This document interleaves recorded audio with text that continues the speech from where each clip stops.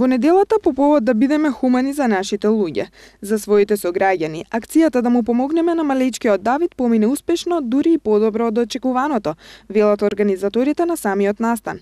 Честа и задоволство да се работи на ваков вид на проекти, знаејќи дека помагаме и допринесуваме за нечие здравје, а од друга страна пак имаме одлична забава со дечињата на возраст од 1 па се до 12 години. Тие беа дел од ревијата кои професионално си ја завршија нивната задача. Добро се снајдоа во улогата на модели, носејќи обликата на бутикот Венис, кој е дел од тимот на организирањето на оваа модна ревија.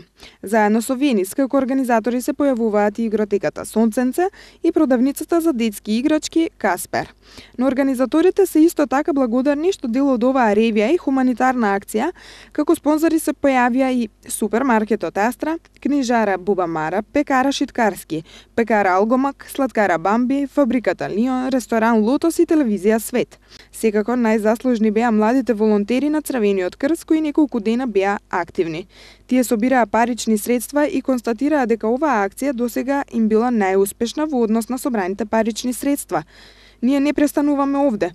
Се трудиме во иднина да помогнеме што повеќе на нашите граѓани во однос на нивните потреби и нашите можности. Голема благодарност и до сите гости кои беа дел од оваа хуманитарна акција изјавија организаторите. Денес се одржа хуманитарната соберна акција овде во гимназијата Кочерацин. Навистина сме задоволни тоа како хуманоста ја покажа овде учениците и вработените во училиштето. Собравме повеќе од бараната сума која што ни требаше и навистина очекувам да биде се како што треба, значи да се излечи малиот Давид. Граѓаните на Свети Николе се покажаа хумани, тоа го докажа вчера на детската хуманитарна модна ревија во ресторант Лотос. Исто така, значи во саботата се собираат средства по бутиците, останатите продавници, самите хумани граѓани, значи пристапија код нас и се интересира за она ние што го работиме, што сакаме да помогнеме и навистина да се надеваме дека Црвен крст вакви акции ќе продолжи да прави, значи и понатаму. Дел од активностите кои се одвиваат во Средното општинско училиште Кочо Рацин е и екоактивноста која служи како потик и мотив да се разбуди свеста кај младите луѓе за чиста и здрава средина. Целта на оваа модна ревија е да се види колкава е креативноста на овие млади луѓе и да ја сватат пораката на самиот проект, односно преку рециклирање на отпадокот да имаме почиста и поздрава околина. Во самиот проект и во оценувањето на моделите учествува и професори од самото училиште кои го проценуваа моделот на учениците според следниве критериуми. Што е идејата или инспирацијата на моделот? Подготовка на скица и избор на материјали, собирање на материјали и изработка на модниот дизајн. Рейтингот на оценките беше од 1 до 3. Како координатор на проектот е господјата Жаклина Милошева, која подетално ни го објасни самиот проект. А, денес се собравме да видиме колку е еколошката свест на нашите ученици, до кој ниво е постигната. Значи, ние сме како екошкола веќе две години, Меѓутоа, активностите ни течат горе-долу. Оваа манифестација повтор пат се организира на ниво на држава, меѓутоа кај нас не беше организирана. И оваа година решивме а, да ги активираме нашите ученици повеќе, да ги мотивираме, значи, да учествуваат со своји креации кои што се изработени од материјали кои што се рециклираат. Значи целта е да бидат употребени материјали што се рециклира, рециклираат и тие да видат со колку материјали, значи колку килограми хартија, материјал за рециклирање направен нивниот модел. Колку време им требаше на учениците за, за овој проект да биде? Самата подготовка значи започна од февруари месец кога го добиваме писмото за апликација на треш фешн или модата со материјали за рециклирање. Од тогаш тие се пријавуваа како групи и почнуваа да работат по чекори. Значи првиот чекор е да го осмислат моделот, да си смислат со кои материјали ќе го направат, да изработат скица, Откога ќе изработат таа скица, значи треба веќе да почнат со собирање на материјали и изработка на самиот модел. Сето тоа значи од февруари до денес, значи околу два месеци тие веќе имат готови креации. Дали веќе сте запознаени со а, секако дека си имам запознаено затоа што во самата самите насоки има дека менторот треба да учествува со нив. Меѓутоа, значи, а, само како нападствијам да им дава. Значи да не биде дека јас им наметнувам мои идеи или пак не сакајки некоја од нивните идеи да ја кажам и на друга група. Значи секоја идеја си е различна на свој начин и тоа ми се најмногу допаѓа, допаѓа што ќе бидат сите единствени, оригинални на свој начин.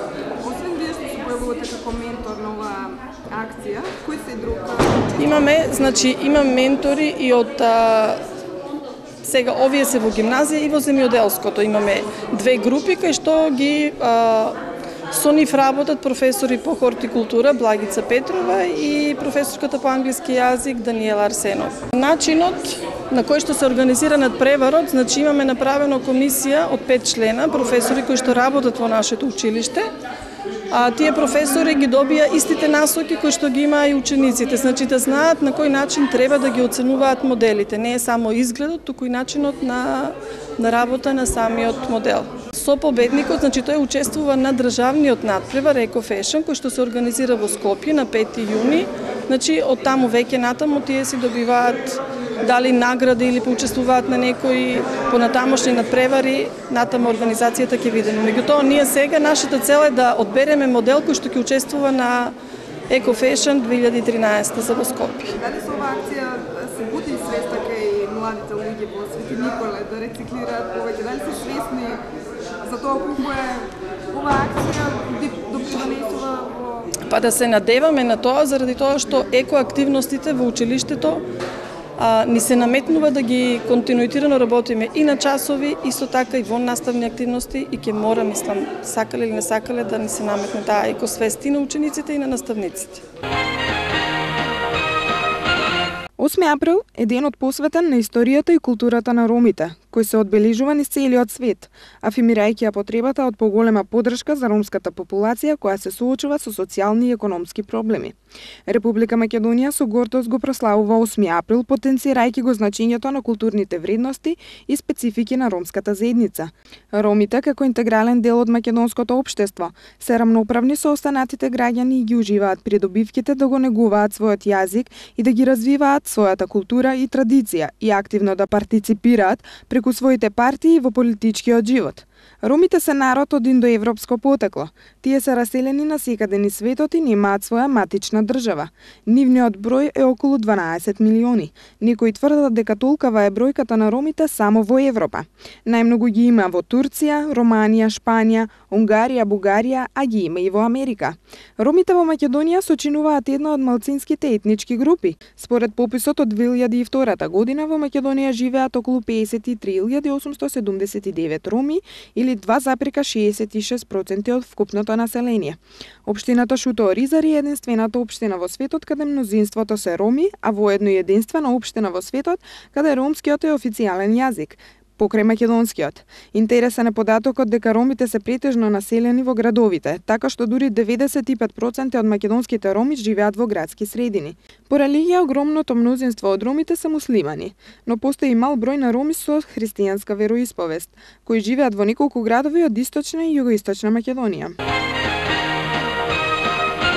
8 април 2013 се одржа првата седница на општина Свети Никола со почеток во 14 часот.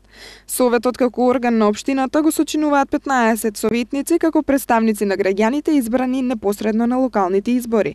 Од денес новите членови дадоа свечена изјава за нивната понатамошна работа во Советот, кои ќе им служат на граѓаните и решавањето на проблемите на општината.